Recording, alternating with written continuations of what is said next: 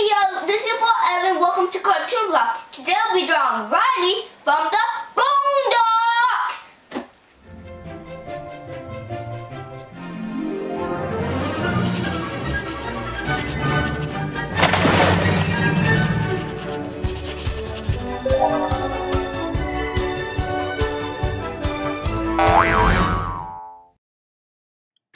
Hey you guys, let's get started drawing Riley from the Boondocks.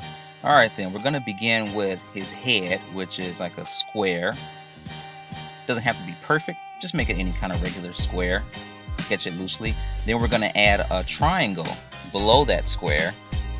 Now I'm going to curve out his uh, the outer portion of his face and then measure the halfway mark between that square. That'll be at the top of his eye line and the top of his ear line.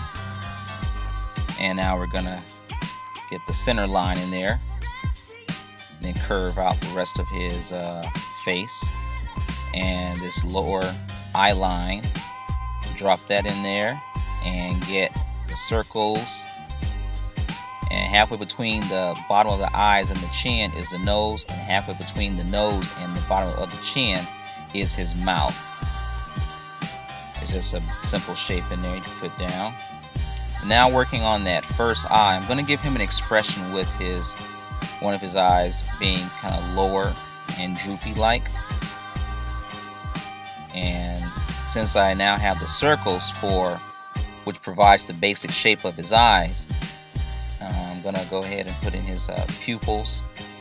Keep in mind the pupils should always touch the upper eyelid unless it's an extreme expression where he has, you know, um, you can see his pupils surrounded by white.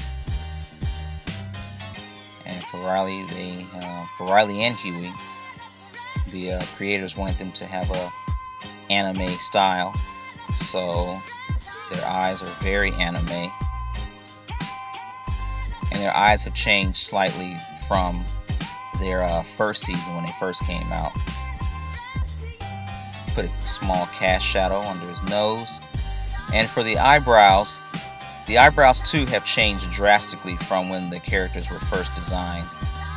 From first season, and if you look between first season and the current third season right now, it looks it look very, you know, different. These are the most complex eyebrows I've ever seen. So I want to give them some meaner looking eyebrows, make them look real mean. Not like the devil, but you know, a little bit meaner, like Riley normally does. Look, always angry at something. To be eight years old, why is he always angry? So now put the wrinkles in there between his eyes. Now I'm going to work on these ears. Um, you can just look at your own ears if you want to see how ears look. Uh, their ears are, aren't that special. They do have, he and Huey do have big ears for their uh, character size. So I'll go ahead and put like a simple shadow in there. I'm not crazy about this left ear, so I'm going to redo it. There we go. It should be folded back more towards the back of his head. Now working on his braids. The braids, they're uh, cornrows. and think of them as like kind of cables that go back, you know, over his skull. And then just gonna drop each one individually in there. That looks better. Okay. And this far side of the head, the, the skull, the forehead overlaps the uh, braids. Gonna readjust his ears some more. I think it should be bigger they do have some big ears. I didn't realize how big he and Huey's ears are until I started drawing them.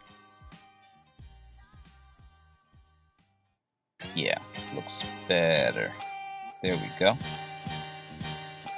And fleshing out his chin and jawline. I'm gonna render out his uh, his cornrow braids. shade them in. Looks nice. And now working on his neck. His neck, you want it to be a cylinder. That's the basic shape of it. I'm to put in just a little bit of detail on his t-shirt here and drop his hands down here